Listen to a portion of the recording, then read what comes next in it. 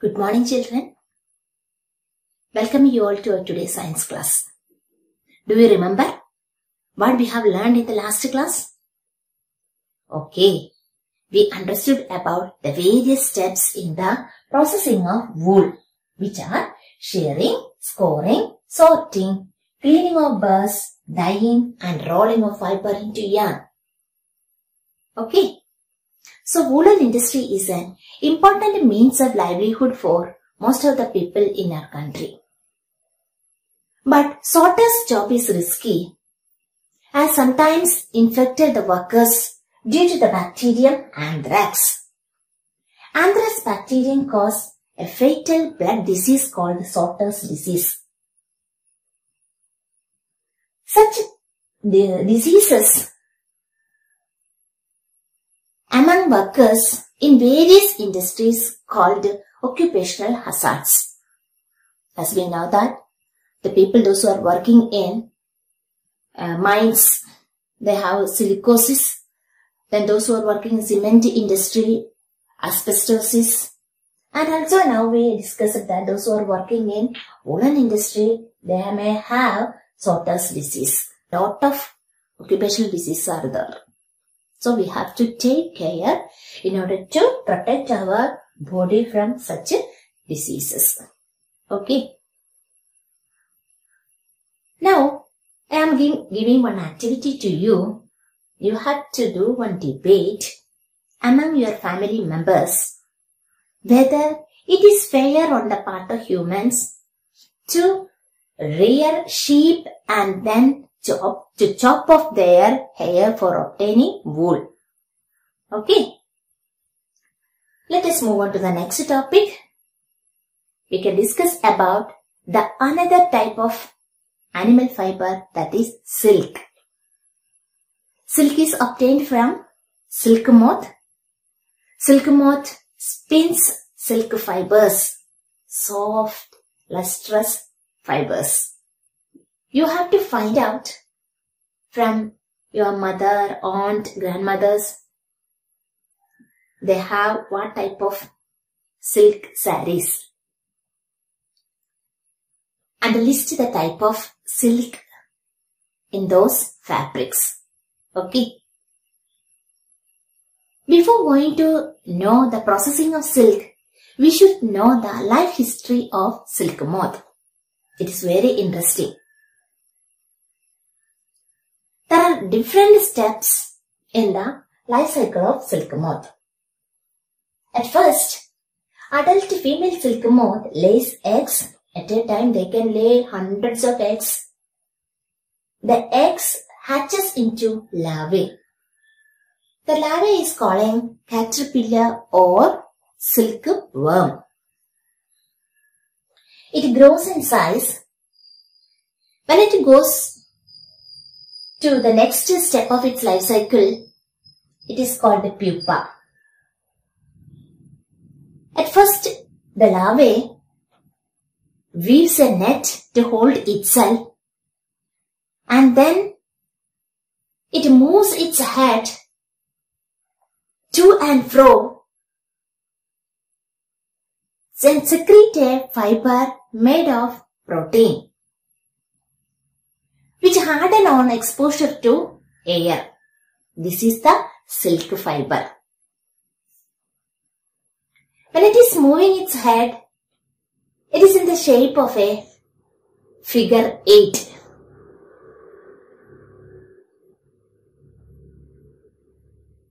It continuously secreting the fiber around its body and covering the full body inside that.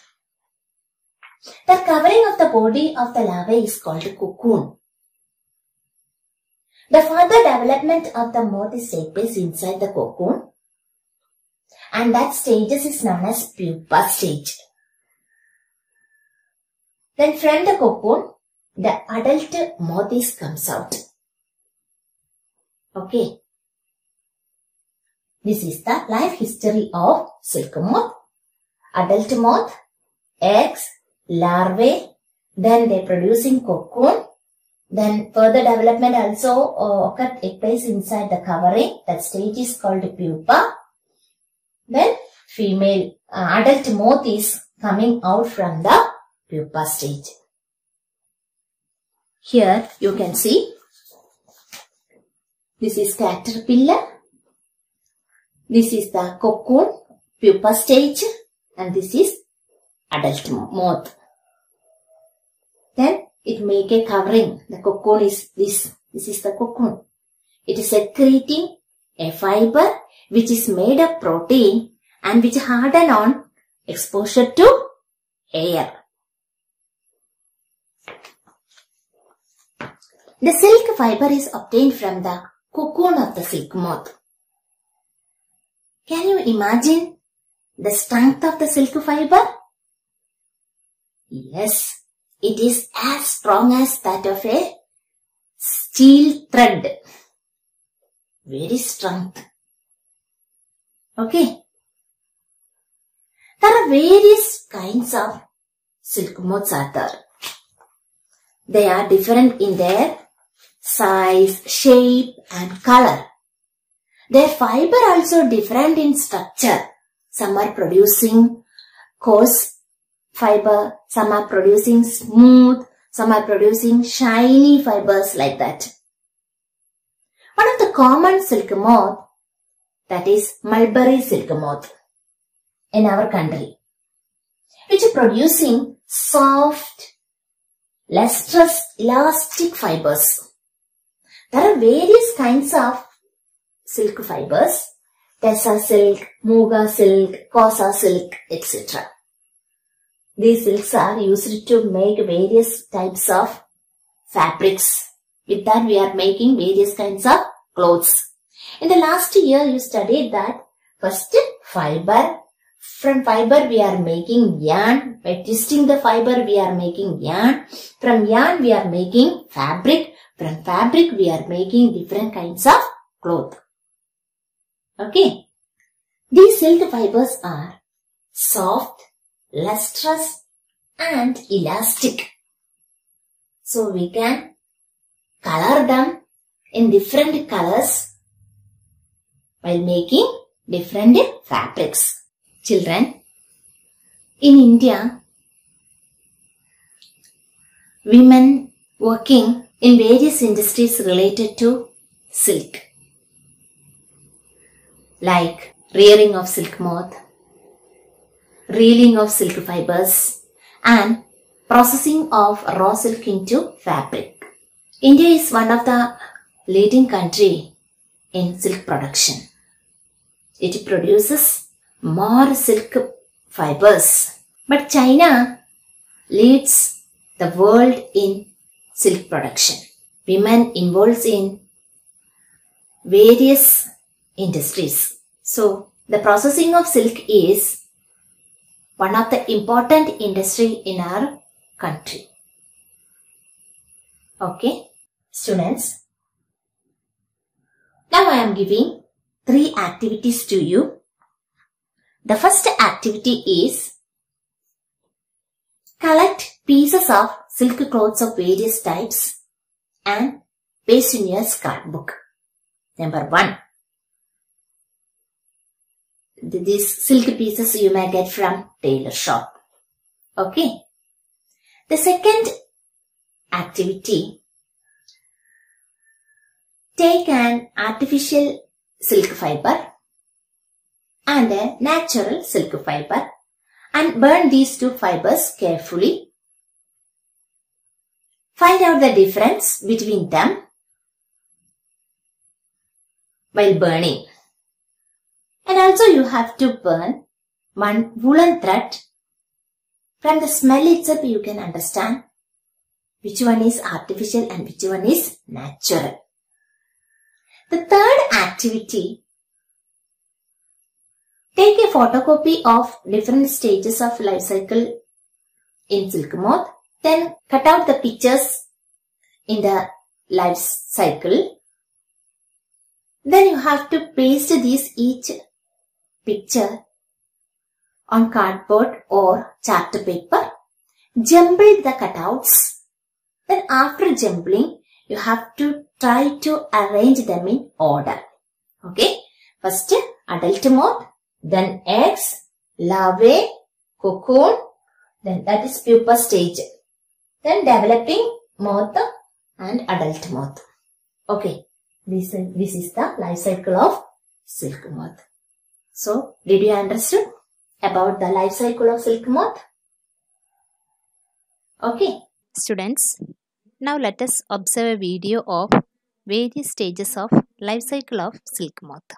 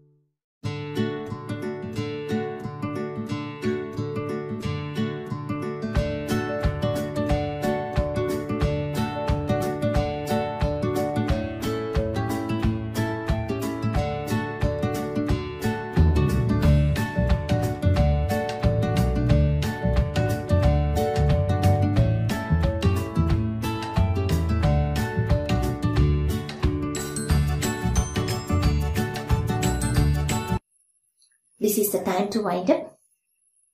See you again in the next class. Thank you.